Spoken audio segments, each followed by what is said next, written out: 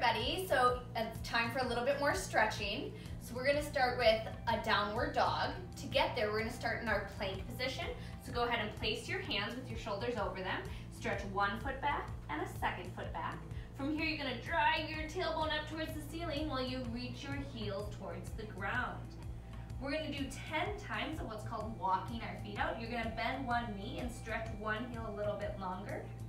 And then gently switch for two and three, four, five, six, seven, eight, nine, and 10. Reach both heels to the ground. Here you're gently gonna lift one foot to the ceiling and you're gonna bend that knee up.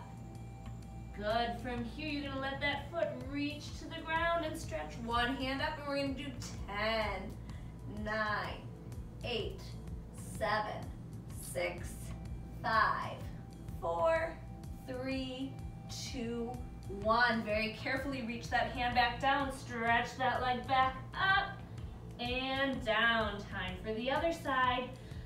Lift that leg, bend the knee towards the ceiling, and very carefully reach that foot towards the floor. Other hand straight up and circle. Keep pushing up with those hips. There's three, four, five, six, seven, eight, nine, ten. Flip it back over.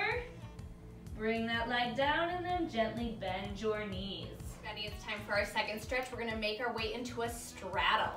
Now with our straddle, I want you to go ahead and take each of your toes and point them up towards the ceiling. Then you're also going to make a thumbs up sign.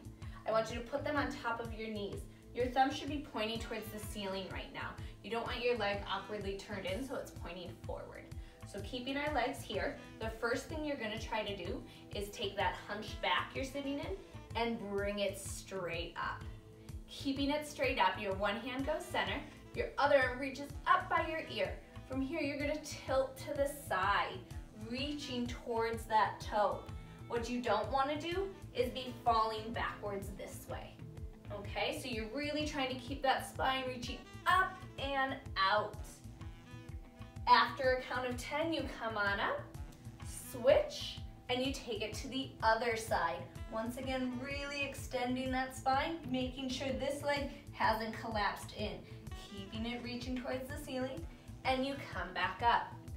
Finding that straight spine, you hinge a little bit forward.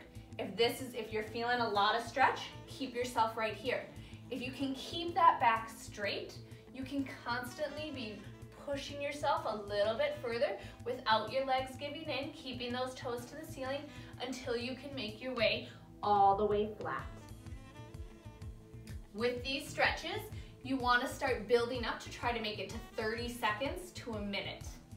Hey you guys, we're gonna end with a final one is a twist. It's always good to try to move your spine both forward, backwards, and twisting. So to take our twist, you're gonna extend one leg straight out to the ceiling, and you're gonna hug one knee in towards your chest. You're gonna take that same hand and put it behind you, and really try to get a nice straight spine. From here, you take your arm and you cross over your knee. From here, you're gonna try to take a stop sign. As you do that, you don't wanna hunch down like this. You wanna keep extending your spine as you try to look back over your shoulder. It's always about lengthening and lifting with your spine. Good, and then make sure we always do the other side. So you're gonna straighten out the leg, pull the other leg in, hand goes behind, arm crosses, and you take your twist.